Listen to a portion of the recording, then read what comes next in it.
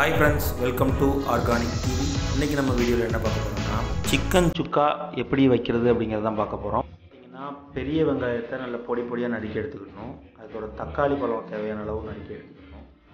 அப்புறம் பார்த்தீங்கன்னா ஒரு குக்கர் எடுத்துக்கிட்டு நம்ம ஸ்டவ்வில் வச்சு தேவையான அளவு எண்ணெய் ஊற்றி எண்ணெய் காஞ்சதும் கடுகு சேர்த்துக்கலாம். கடுகு நல்லா வெடிக்கிற அளவுக்கு பொரிய விட்டு அப்புறம் வந்து கருவேப்பிலை இருக்குது பார்த்தீங்களா அது வந்து சேர்த்துக்கலாம் கருவேப்பிலை போடுறது நல்லா புஷ்ஷுன்னு பொறிஞ்சு வரும். கருவேப்பிலை பொரிஞ்சு வர்ற சவுண்டு நின்னதும் பார்த்தீங்கன்னா கருவேப்பிலை நல்லா குக் ஆகிட்டு அப்படின்னு அர்த்தம். அப்புறம் பார்த்தீங்கன்னா நம்ம நறுக்கி வச்ச வெங்காயம் இருக்குது பார்த்தீங்களா அந்த வெங்காயத்தை ஆட் பண்ணிக்கலாம். அப்புறம் பார்த்தீங்கன்னா நார்மலாக தான் நம்ம வெங்காயத்தை ஆட் பண்ணிட்டு வெங்காயம் பொன்னிறம் வர்ற அளவுக்கு நல்லா ஃப்ரை பண்ணிக்கிட்டே இருப்போம். அப்படி நம்ம ஃப்ரை பண்ணிக்கிட்டே இருக்கணுங்க.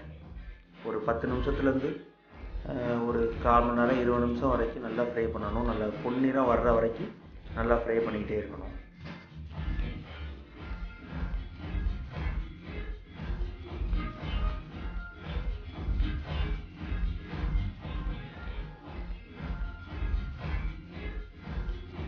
இப்போ பார்த்தீங்கன்னா வெங்காயம் நல்லா பொன்னிறமாக வந்துட்டு இப்போ நம்ம தக்காளி ஆட் பண்ணிக்கலாம். தக்காளியோட ஜூசினஸ் நல்லா அந்த வெங்காயத்தில் இறங்கி நல்லா நல்லா குக் ஆகுங்க. அது வரைக்கும் நல்லா ஃப்ரை பண்ணிக்கிட்டே இருக்கணும்.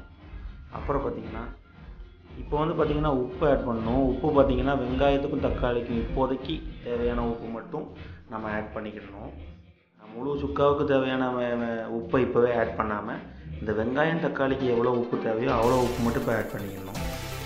ஆட் பண்ணி நல்லா வதக்கணுங்க. நல்லா அந்த நான் சொன்ன மாதிரி இந்த தக்காளி நல்லா வதங்கி வர்ற அளவுக்கு நல்லா வதக்கிட்டே இருக்கணும். அப்புறம் பார்த்தீங்கன்னா இஞ்சி பூண்டு பேஸ்ட் ரெடி பண்ணி வச்சுக்கணுங்க. இஞ்சி பூண்டு பேஸ்ட் பார்த்தீங்கன்னா நீங்கள் நார்மலாக உள்ள குழம்புக்கு யூஸ் பண்ணுறத விட கொஞ்சம் அதிகமாகவே நம்ம சேர்த்துக்கலாம் இதில். ஒரு ஸ்பூன் யூஸ் பண்ணுவோம் நம்ம நார்மலாக இதில் ரெண்டு ஸ்பூன் யூஸ் பண்ணிக்கணும் இஞ்சி பூண்டு பேஸ்ட்டு அந்த இஞ்சி பூண்டு பேஸ்ட்டோட பச்சை வாசம் போகிற அளவுக்கு நல்லா வதக்கிக்கணுங்க. இஞ்சி பூண்டு பேஸ்ட்டோட பச்சை வாசம் போனதுக்கப்புறம் நம்ம கறி ஆட் பண்ணிக்கலாம். கறியை நல்லா கழுவி எடுத்துக்கிட்டோம். கழுவி எடுத்துக்கிட்டு அந்த கறியை நம்ம இந்த மசாலாவோட ஆட் பண்ணி நல்லா வதக்கிக்கிடணும் கறி சேர்த்து வதக்கிட்டு இருக்கும்போது பார்த்தீங்கன்னா கறியோட பச்சை வாசம் போகிறதுக்காக அதில் வந்து மஞ்சத்தூள் நம்ம ஆட் பண்ணிக்கலாம். மஞ்சத்தூள் ஆட் பண்ணிவிட்டு நல்லா இந்த கறியில் உள்ள மசாலா மசாலா வந்து கறியோட நல்லா சேர்ந்து அந்த எண்ணெய் பிரிஞ்சு வரும் எண்ணெய் பிரிஞ்சு வர்ற பக்குவம் வர்ற அளவுக்கு நல்லா அந்த கறியும் மசாலையும் நல்லா பரட்டி பிரட்டி வதக்கிக்கிட்டே இருக்கணும். பாதி பக்கம் வதங்கினதுக்கப்புறம் பார்த்தீங்கன்னா ஒரு மூடி போட்டு ஒரு பத்து நிமிஷம் மூடி வச்சிடணுங்க. இப்போ நம்ம மூடி வச்சு பத்து நிமிஷம் ஆச்சு இப்போ நம்ம திறந்து பார்க்கலாம். இப்போ நீங்கள் வீடியோவில் பார்த்தாலே தெரியும் இப்போ எப்படி நல்ல மசாலாவோட சேர்ந்து நல்ல அந்த எண்ணெய்லாம் பிரிஞ்சு வந்திருக்கு பாருங்கள் நம்ம வத்தத்தூள் ரெண்டு ஸ்பூன் இதில் ஆட் பண்ணிக்கணுங்க. ஆட் பண்ணி நல்லா அதில் நல்லா வதக்கணுங்க இதை. நல்லா அந்த மசாலாவோட பச்சை வாசம் போகிற அளவுக்கு நல்லா வதக்கிக்கணும். இந்த கறியிலையும் நல்லா மசாலா பிடிக்கணும். அதனால் நல்லா பெரட்டி பெரட்டி விட்டு நல்லா வதக்கிக்கணுங்க. நீங்கள் லைட்டாக இப்போவே பார்த்தா தெரியும். உங்களுக்கு லைட்டாக வதக்குனாலே நமக்கு சுக்கா ரெடியான மாதிரியே ஒரு ஃபீல் ஆகும்.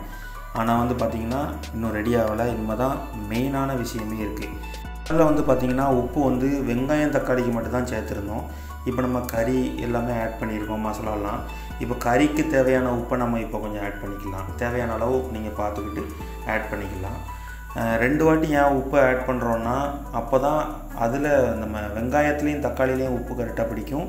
அது போக இப்போ போடுற உப்பு வந்து அந்த மசாலா கூட சேர்ந்து அந்த கறியில் நல்லா பிடிக்கும். கறி நல்லா பிடிக்குங்கிறக்காண்டி இப்போ மசாலா போடும்போது இந்த உப்பை நம்ம இதில் சேர்த்துருக்கோம் இப்போ பார்த்தீங்கன்னா நமக்கு டேஸ்டியான சிக்கன் சுக்கா ரெடி ஆகிட்டு இப்போ நம்ம மல்லி இலை தூவி இதை நம்ம ஃபினிஷ் பண்ணலாம்.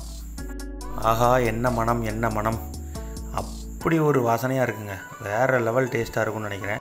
ஓகே ஃப்ரெண்ட்ஸ் இன்றைக்கி இந்த வீடியோ உங்களுக்கு கண்டிப்பாக பிடிச்சிருக்குன்னு நான் நம்புகிறேன் மேலும் இது போன்ற வீடியோவை பார்வையிட நம்ம ஆர்கானிக் டிவியை லைக் பண்ணுங்கள் ஷேர் பண்ணுங்கள் கமெண்ட் பண்ணுங்கள் கண்டிப்பாக சப்ஸ்கிரைப் பண்ணி அந்த பெல் பட்டனை கிளிக் பண்ணிடுங்க. நன்றி வணக்கம்.